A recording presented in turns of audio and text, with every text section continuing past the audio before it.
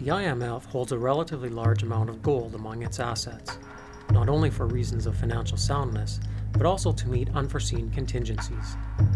In fact, the IMF is the third largest official holder of gold in the world.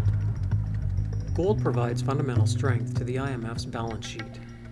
Gold holdings add to the credibility of the IMF's reserves in case it must deal with any non repayment of lending, although this issue has not yet arisen in practice. This credibility provides the IMF with flexibility in the use of its financial resources to assist members.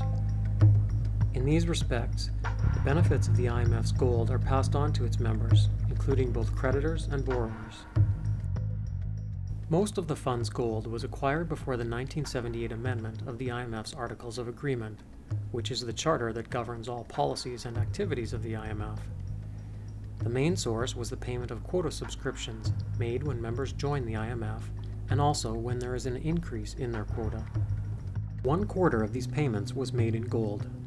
Other sources of gold were repayments made by the IMF's borrowing members, who sometimes used gold to repay the interest and principal on their loans. Some members also sold gold to the IMF to boost their foreign exchange reserves.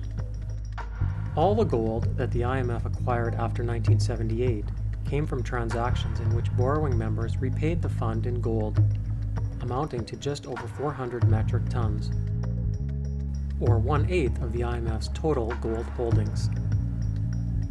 It was this amount of gold that was recently approved for sale by the IMF's executive board.